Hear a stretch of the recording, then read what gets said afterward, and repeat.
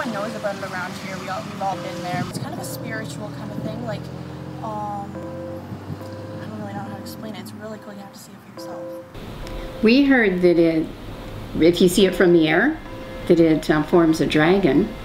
He's done all these big cement sculptures that I think some people think it's a little creepy. I, I don't I don't find it creepy at all. I, I think it's kind of neat how he's built his own Stonehenge out there. He's, from what I know, he's a little bit strange. I finished the 84 structures on the field in 2004, but I do intend to do one this this year. I have uh, the remains of uh, an individual and basically their ashes. The ashes go into cement when I'm mixing it, and then I put their um, their name and etc. on the the base. Here's my person. I hope the box isn't leaking too much. Get out. So there's this will be the first person that's that for the but it, the intention has been around for a while. I'm a person that believes you're dead, you're dead. There is no, you know. I think it's kind of interesting where where loved ones can actually come and have some type of shrine.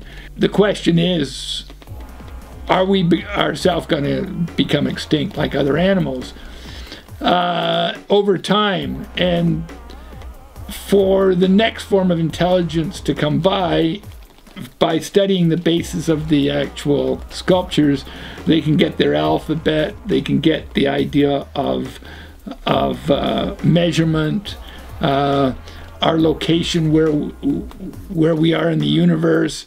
And by doing that, they can try and find out what human beings are actually like. Basically, it looks like a sphinx on the side, like sitting on the side of the road. Basically, I have a lot of land to do it. I have uh, close to 300 acres, so I, I can just keep going like this for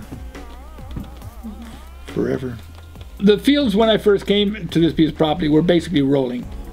And when it snowed, they looked like waves in the field. And the idea of somebody drowning in the ocean with the eye, uh, with the heads and the hands coming out, is what the original intent was. When I built this first tower on the the one side of the uh, the building, I it was basically a tower. It was quite druid in the sense that it had two heads, one on either side, and either or a yin and a yang type thing. Castles were used for fortification. So the idea of having this area that is a protected area with a wall around it and the gates is one idea and then you've got on the outside these sculptures which are advancing towards the the wall the threat the uh, the idea of safety and protection and the threat on the outside on the outside. Most of us inwardly are like that and we put up our barriers. We do our own protection you know we have barriers you know. So i mean in a religious way there uh, you know it's it's very very similar. I've spent a fair bit of time and this is basically basically my life you know. And at some point there won't be any more sculptures on the field